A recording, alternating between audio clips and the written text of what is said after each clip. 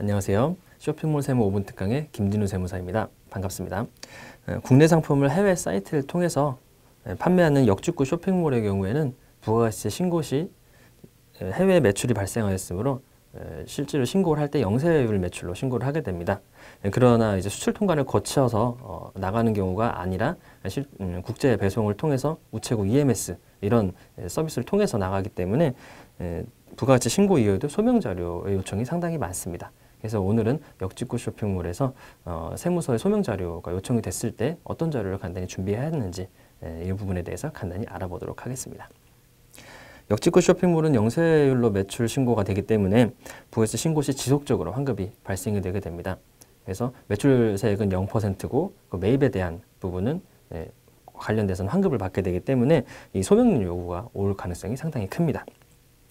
소명은 환급세액이 발생하게 된 근거로 영세 매출이 맞는지 그리고 매입도 실질적인 예, 사업과 관련된 매입이 맞는지 꼼꼼하게 체크하는데요. 그렇기 때문에 매출과 매입 모두 예, 장부 기장하거나 회계 처리할 때 관련된 장, 어, 자료를 예, 구비해 놓아야 합니다. 먼저 역직구 사업장 같은 경우는 해외에서 매출이 발생하였으며 상품도 해외 구매자, 해외 판 해외 구매자한테 판매를 하기 때문에 실제로 이 매출이 해외에 판매됐다라는 것을 입증해야 될 텐데요. 어, 그러려면 저희가 준비해야 될 서류 중에 가장 기본적으로 결제 대금에 대한 부분, 저희 페이팔이나 페이오니아 같은 해외 결제 시스템에 대한 피지사에 대한 자료를 구비해 두어야 될 거고요. 그리고 이베이나 아마존과 같은 해외 사이트의 판매 대 판매 자료 로 구매해, 구비해서 소명 자료를 구비해야 됩니다. 그리고 한 가지 더 어, 저희가 준비해야 될 게 바로 우체국 EMS 등 해외 국제 배송에 대한 이 배송 내역도 준비해 두어야 합니다. 그리고 두 번째로 이제 매입 관련된 자료도 상당히 중요한데요. 예, 가장 기본적으로는 과연 사업과 관련된 예, 경비냐 이 부분에 대해서도 어, 먼저 일차적으로 체크를 해봐야 될 거고요.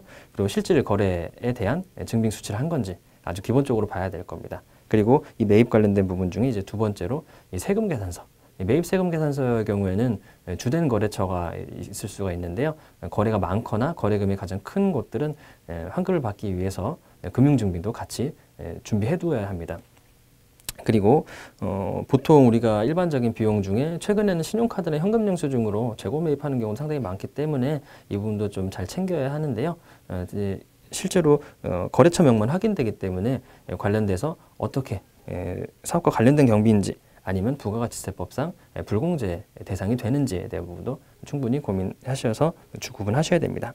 그리고 특히나 신용카드 현금영수증 매입 같은 경우는 온라인 구입분이 상당히 많은데요. 온라인에서 매입을 하게 되면 G마켓 옥션이라든지 아니면 관련 피지사의 상호만 뜨기 때문에 관련돼서 별도의 결제 내역을 따로 정리하셔서 어떤 상품을 샀는지 어떤 식으로 매입을 하게 됐는지를 단순히 결제 내역만 갖고 계시는 것보다는 상세 내역을 같이 준비하셔서 환급받는데 소명 자료로 충분히 제출할 수 있도록 준비하셔야 합니다.